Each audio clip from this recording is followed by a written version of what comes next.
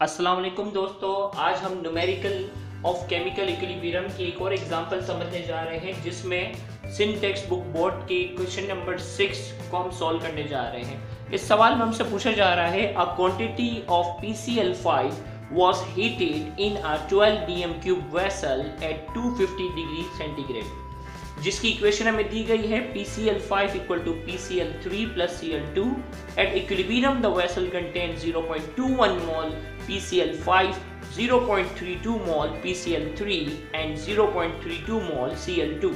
Compute the equilibrium constant. इस सवाल में कहा जा रहा है कि हमारे पास 12 dm क्यूब का एक वेसल है जिसमें हम पी सी एल फाइव को जब हीटअप करते हैं तो वो कन्वर्ट हो जाता है पी सी एल थ्री में और सी एल टू में। और कहा जा रहा है कि इक्विलिब्रियम पर वेसल्स में 0.21 mole P C L five बचता है और 0.32 मोल PCl3 बनता है और 0.32 मोल Cl2 बनता है। और इस सवाल में पूछा जा रहा है कि आप इक्विलिब्रियम कांस्टेंट मालूम करके बताएँ। तो इससे पहले हमने यहाँ डेटा में इक्वेशन लिखी। PCl5 जो कि हीटअप होने पर किसमें कन्वर्ट हुआ PCl3 और Cl2 में। और इक्विलिब्रियम पर बताया जा रहा है कि हमारे पास जो रिमेनिंग रह जाता है PCl5 वो 0.21 मोल होता है। PCl3 जो है, वो 0.32 मोल और Cl2 भी 0.32 मोल और यहाँ हमें वॉल्यूम दिया गया है 12 लिहाजा कंसंट्रेशन के लिए 12 हम इसके नीचे लिखेंगे। तो ये हमारे पास इक्विलिब्रियम पर इन सब की कंसंट्रेशन आ गई है। अब रिक्वायर्ड में हमसे पूछा जा रहा है कि आप इक्विलिब्रियम कांस्टेंट मालूम करके बताएँ।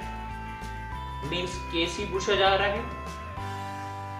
अब इसके लिए हमें केसी इक्वेशन बनाना आना चाहिए। केसी इक्वेशन में हमें मालूम है कि हम हमेशा प्रोडक्ट की कंसंट्रेशन को नोमिनेटर में रखते हैं।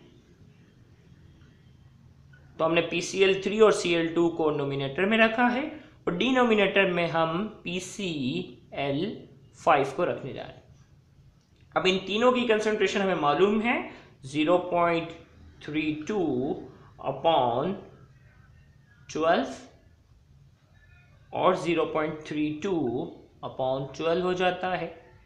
इसी तरीके से पी सी एल फाइव हमारे पास है 0.21 अपॉन 12 जब हम 0.32 को हम 12 से डिवाइड करते हैं तो हमारे पास ये वैल्यू आ जाती है 0.0267 इसी तरीके से यहाँ पर भी 0.0267 आ जाएगा।